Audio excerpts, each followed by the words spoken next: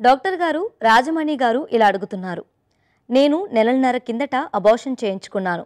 కానీ ఇప్పటికీ మళ్ళీ పీరియడ్స్ రాలేదు. మొదటిసారి పీరియడ్స్ వచ్చాక గర్భనిరోధక సాధనాలు వాడదాం అనుకుంటున్నాను. అబార్షన్ తర్వాత ఎన్నాళ్ళకు మళ్ళీ పీరియడ్స్ వస్తాయో తెలియజేయండి అని అడుగుతున్నారు. రాజమణి గారు టెర్మినేట్ చేయించుకున్నాక ప్రెగ్నెన్సీని యూజువల్గా వన్ టు టూ మంత్స్లో ఎగ్ అనేది రిలీజ్ అవ్వటం జరుగుతూ ఉంటుంది.